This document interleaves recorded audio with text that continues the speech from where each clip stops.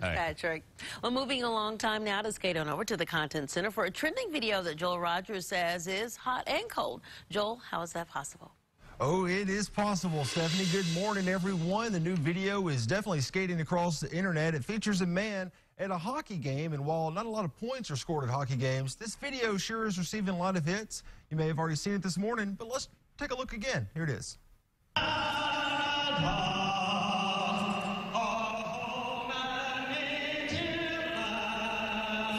Uh-oh.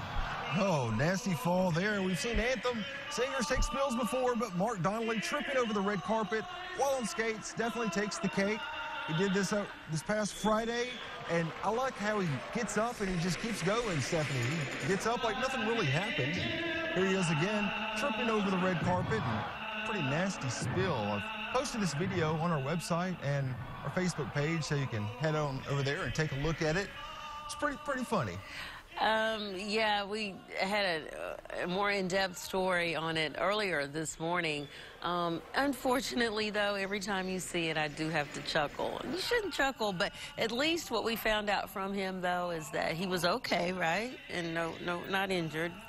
I don't think his ego was even bruised on that one. Oh no, now he's, now he's a popular guy. He's known all, all over the country and uh, all over his country. That red carpet. Mm-mm-mm. Red carpet, he's he's tripping. Uh, all righty. It's been a while, Joel, since we've had one of those, but I'm thunch.